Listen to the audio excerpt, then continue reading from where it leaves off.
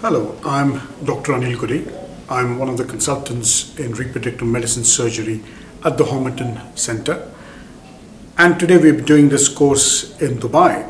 And I thought we will uh, look at a few areas which are very interesting and which are equally convey the concept of recruitment of follicles.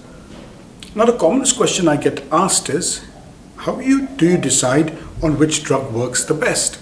And how do you decide which drug may fail? And that's a very diffi difficult and a, a, difficult answer to give you because it effectively means that I'm, I, you want me to devise something that says that with this scenario or this present number of follicles, or this is how the ovary looks, and this is what the, the parameters are, and that will give you a much better idea of how you decide to stimulate the ovary. Now, I'll tell you one thing. I've devised a, triangle, and this has been going on for about three to four years, where I've tried to modify it.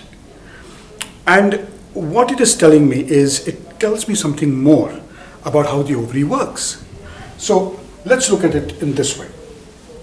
Now, if that's the ovary, and you have a triangle in the ovary, now I jokingly call this the Gudi triangle.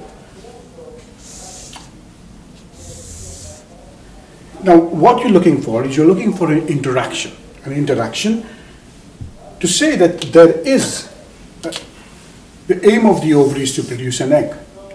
The ovary does something very, very dramatic, something which you don't see in any other organ.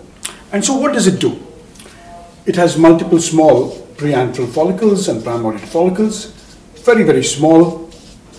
And this is, in fact, to simplify the stimulation. And you see antral follicles, which can be seen on a scan, and the bigger ones. So what happens in nature? In nature, you see a certain number of follicles go into atresia, and I call it the invisible death of follicles, following nature's curve towards atresia. And you see a recruitment of follicles, which is a visible recruitment. And the same thing tends to happen. From here, you see the death of follicles into atresia, and you see a successful move towards ovulation. And this is a unique charter, and this is a, this is a, a mechanism which is happening continuously. Happens non-stop.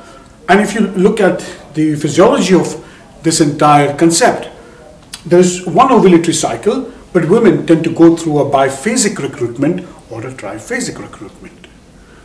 And that is something which you have to understand, is recruitment is a continuous process. It and that is, we have probably got very close to it, or maybe at the best biphasic, or maybe triphasic in, in some times. So what does this triangle tell you? A triangle tells you that if you make a count of 10 millimeter and 2 millimeter, antral follicles are arranged in two sets. Follicles which are more than 4 millimeter and follicles that are less than 4 millimeter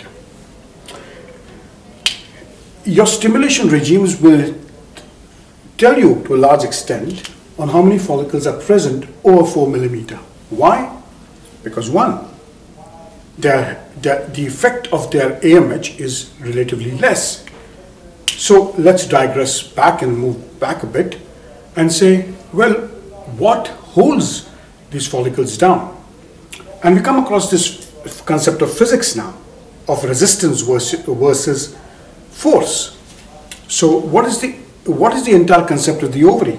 The ovary faces a resistance, a resistance which is imposed by AMH, which holds follicles down.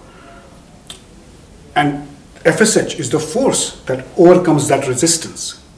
So whilst AMH pushes follicles down, FSH pushes them up.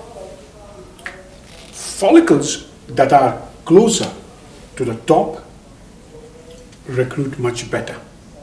Follicles that are lower down traditionally are not meant for that cycle and they are not meant for the follicular phase. In induction of ovulation, they're meant for the mid follicular phase or the luteal phase. So they don't tend to grow. So again, if you have a look and if you see more follicles in this zone, your oral agents work. If you see more follicles in this zone, chronic low dose protocols tend to work. If you see more follicles in this zone, your stimulation is going to be incredibly challenging. And why would I say use this over? It use this format. This format effectively starts making you understand that relationship between the resistance that comes through, and that resistance is measured by AMH and LH, and effectively what force you apply. And then you have to divide this into induction of ovulation, where you want one to two follicles, or ovarian stimulation, where you want more follicles. So again, I've just spent two hours trying to tell people, let's challenge your concepts. Let's look at what nature does. Let's effectively blast through certain co- confusing or rather formatted ideas which don't move. And this is one of them. This is understanding, and your entire stimulation will be successful if you understand the relationship between AMH, which is the force that keeps follicles down, and the FSH that pushes follicles up. How do you give it? Do you, you can give it in a pulsatile manner by modifying nature, clomiphene, letrozole, tamoxifen. Or you can reach the FSH level very high and faster by chronic low dose protocol. Two beautiful concepts, both using very different concepts of raising the FSH standard and raising the force. Have a think again. Draw this triangle, measure the follicles, and you'll find stimulation easier and rather easier to explain. Thank you.